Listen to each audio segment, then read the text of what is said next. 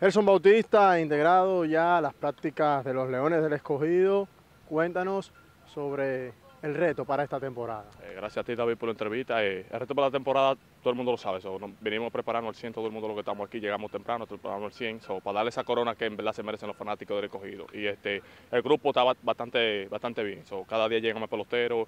Eh, del draft nuevo, veteranos, y nos estamos poniendo al 100, tú sabes, para darle al 100 siempre cuando pasemos la rayada al terreno. Un año más de experiencia y serás uno de los brazos eh, principales en el, en el, staff de relevo. ¿Qué nos pudieras decir?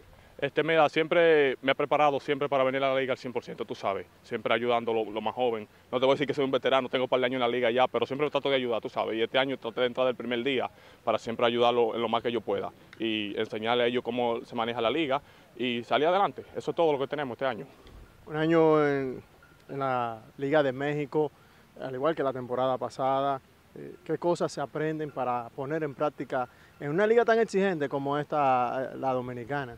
Este, mira, esta liga dominicana es bien difícil, tú sabes. Han venido mucha gente aquí y saben que, es poco difícil. aquí se trata de venir lo, más bien que tú puedas, tú sabes. Demostrarle a ellos que tú estás bien y, adaptarte a la liga. Aquí adaptarse a la liga es un poquito difícil, tú sabes. Pero tú tratas la manera de adaptarte. Hay muchos veteranos que se adaptan de una vez o muchos no se, no se adaptan rápido. Pero siempre tratamos de dar el 100, tú sabes. Muchas gracias. Gracias a ti, David.